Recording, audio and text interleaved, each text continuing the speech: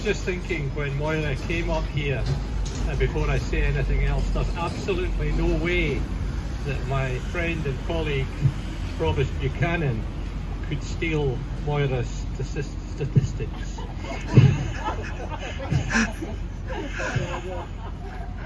anyway, can I thank you very much for inviting me along today. I haven't, I, most of what has to be said has probably been said.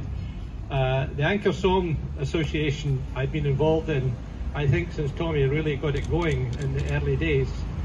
Um, I think I'm supposed to be an honorary chairman or honorary president because the role seems to change from year to year.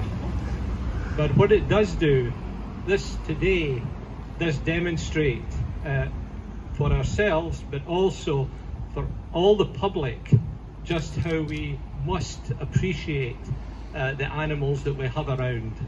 We all have pets. I've got a complete lunatic of a collie.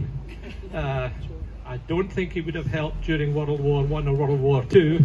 Uh, however, uh, I think we have to appreciate what these animals sacrificed and the work they've, they've done, not only for our military personnel but for humanity as well. Uh, they, they, they've made a tremendous input into our quality of life. Uh, so really, can I just congratulate the association once again and thank you for inviting me to say a few words uh, when I wasn't on the list. Uh, and thank you, uh, uh, Provost Buchanan.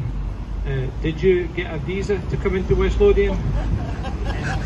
I've been, I've been dragged twice already. okay, thank you very much. I don't know who I'm handing, handing back to you now, Billy. Okay. Thank you very much, Uh, well done. Thank